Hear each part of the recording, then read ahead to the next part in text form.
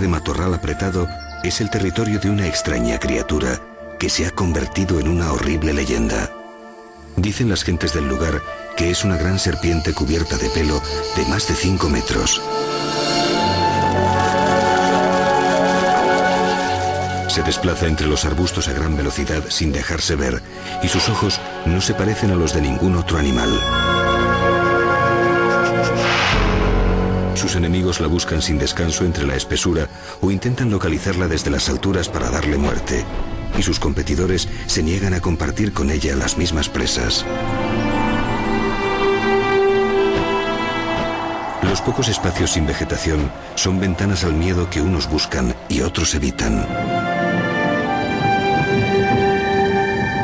Cuando llega la noche, el juego no cambia en absoluto. Distintos actores en la misma tragedia, vidas destinadas a cruzarse para alimentarse o morir.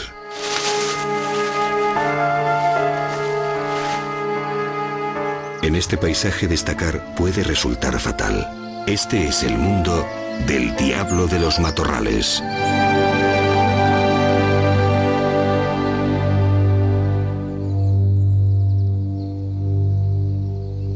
En los montes mediterráneos del sur de España es muy difícil que ocurra algo sin que una rapaz grande como esta lo vea. El águila real recorre unos 200 kilómetros al día prospectando su territorio de caza, salpicado de puestos de observación.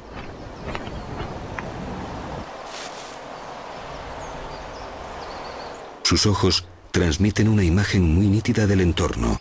Su obligación biológica es darse cuenta de todo. Los jabalíes son abundantes y constituyen frecuentemente la pieza de caza favorita de la población local. Pero alguien ajeno a esta escena está también en los alrededores. El cazador, concentrado en su objetivo, ignora que se ha introducido en tierra de diablos.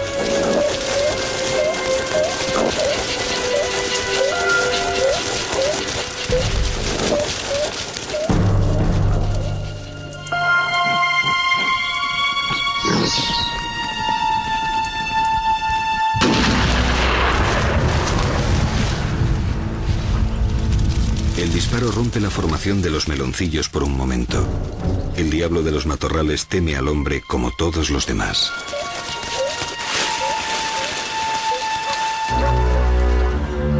Pero el temor es mutuo.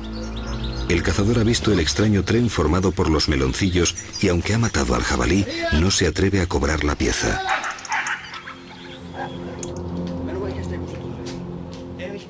De este modo nació la leyenda de la serpiente peluda, un ofidio de enorme tamaño y cubierto de pelos que aparece repentinamente volviendo a sumergirse en la espesura un instante después. Durante días no se hablará de otra cosa en la región, porque ese hombre sabe muy bien lo que ha visto. Ha visto al diablo que se esconde en lo más profundo del monte.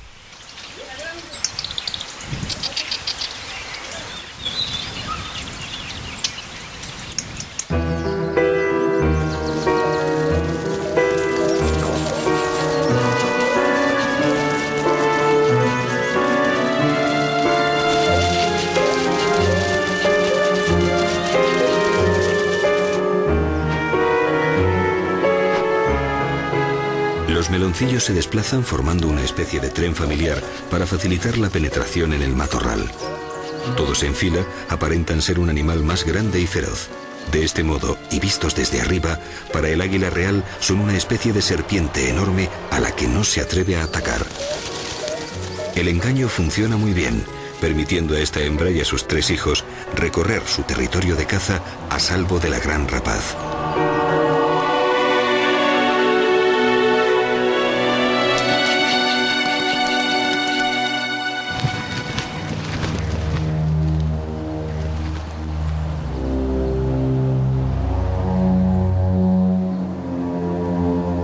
El águila real pasa muchas horas al día observando el mundo desde su posadero. Su acecho continuo divide a los animales en dos grandes grupos, los que se comen y los que no.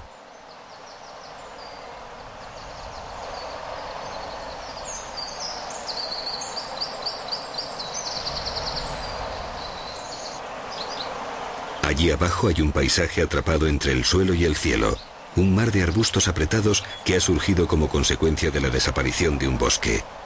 La lucha permanente entre las distintas especies de matorrales por ocupar un espacio y la profusión de ramas espinosas convierten a este lugar en un tapiz denso, una mini jungla para seres agachados, un mundo oculto reservado para especialistas.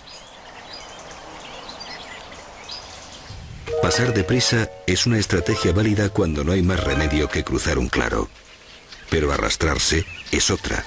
Así lo hace la culebra de escalera, una serpiente auténtica que cazadería presas de sangre caliente. En este laberinto leñoso, todos buscan la forma de esconderse de los que son más grandes, utilizando los medios disponibles, y puesto que las espinas abundan, lo mejor es meterse dentro de una.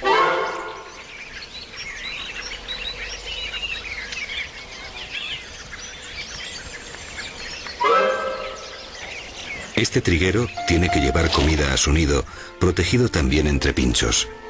Los pollos, coronados de púas, son alimentados con insectos. Sus padres, que generalmente consumen grano, cambian temporalmente la dieta para conseguir el crecimiento más rápido de los pequeños. En este mundo estrecho, en el que todo vecino es peligroso, lo mejor es esconderse por lo que pueda pasar.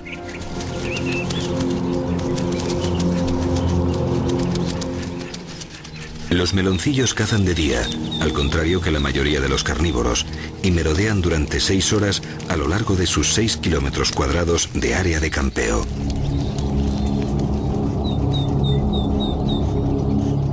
Movida por el hambre, la madre ha traído a su familia hasta el cuerpo del jabalí que el hombre no cobró. Es un momento delicado. Hay que hacerlo con la cautela que les impone romper la formación en un claro. A esta clase de mangosta, la única que habita en territorio europeo y la más grande de todas, se le llama también ichneumon, que en griego significa perseguidor.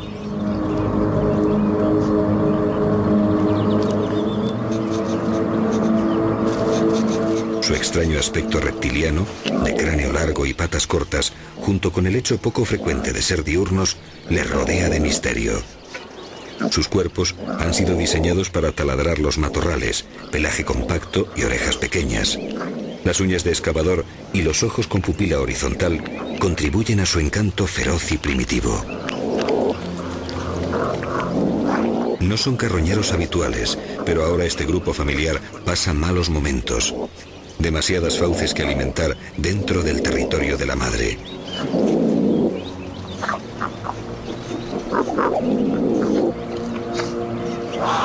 Después de un año juntos, sus hijos se han convertido en rivales y competidores.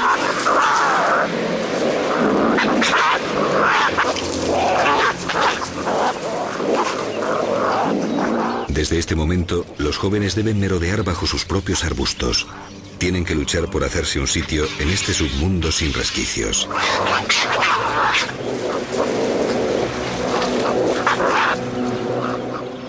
Cuando la familia se disuelve, la hembra entra de nuevo en celo. Por eso esa actitud anima a este viejo macho gris que corta los vientos de la madre desde hace días.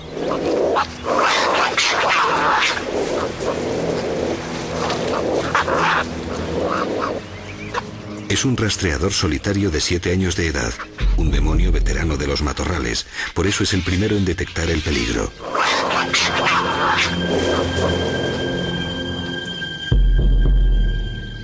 La madre también lo ve. Hay que irse de aquí.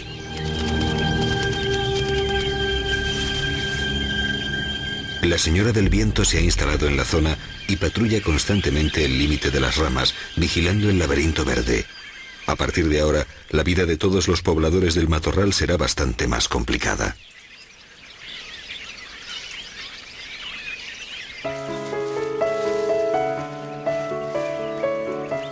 Desde que su madre los dejó, deambulan en busca de nuevos territorios que colonizar.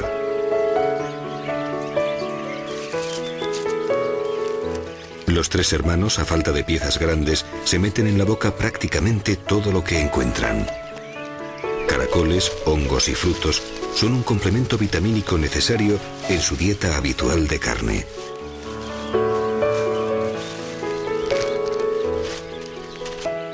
Seguirán juntos durante algún tiempo, porque así se sienten más seguros frente a potentes adversarios como este.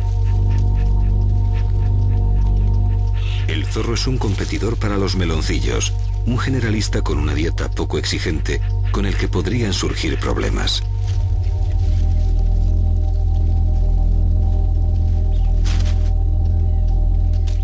No les ha visto y lo mejor es esperar discretamente a que se marche.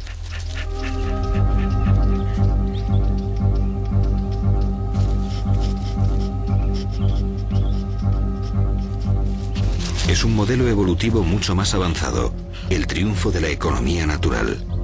Astuto y precavido, es el carnívoro más extendido del planeta, pero no puede nadar entre espinas como ellos.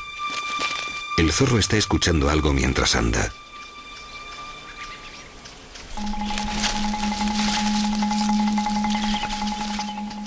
Los pequeños roedores son muy rápidos, aunque no lo suficiente para sus grandes orejas orientables. Sin embargo, aunque ha tenido éxito, él no está a gusto aquí. Prefiere la noche y sabe que está al descubierto entre matorrales tan bajos. Demasiado visible como para que alguien que observa desde las rocas no se haya dado cuenta ya. Quieta, con la paciencia de una gárgola, el águila real siente que se le acelera el pulso cuando descubre movimiento entre el mar de matorrales. Todo está a punto estiletes de 9 centímetros y pico. En décimas de segundo, el ordenador de a bordo valora la distancia al objetivo, el ángulo de ataque y el punto estimado de impacto. Es el mayor predador alado del Paleártico.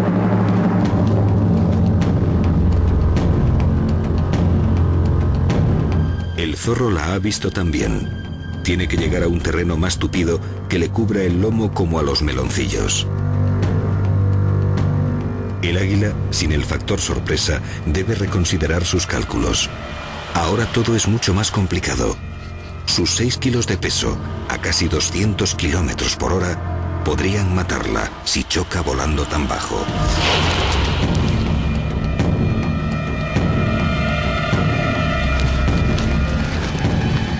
Debe aproximarse lo posible y esperar el momento adecuado.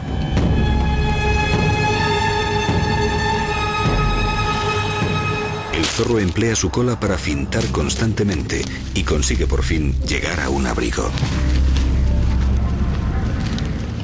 Le ha perdido.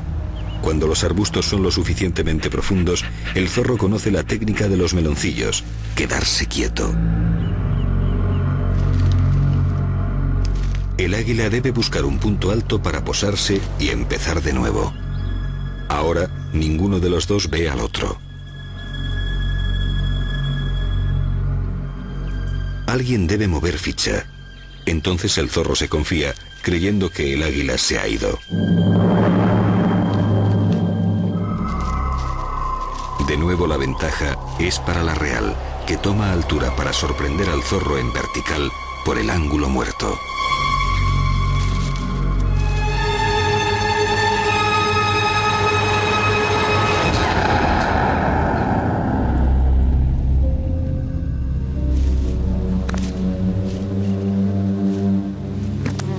Zorro es una presa frecuente de la gran águila.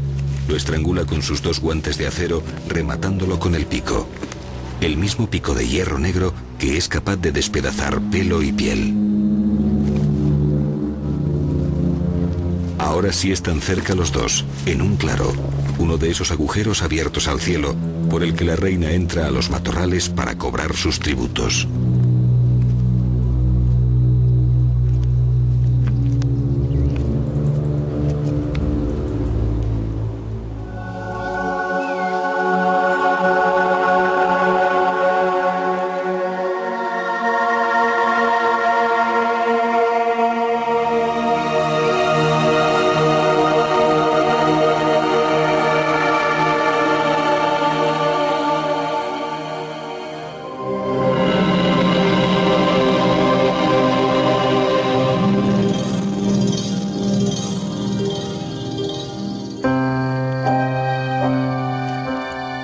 De piedra que delimitaron antiguamente las tierras de labor son ahora la ciudad de unas fieras diminutas. Tienen que comer permanentemente para mantener a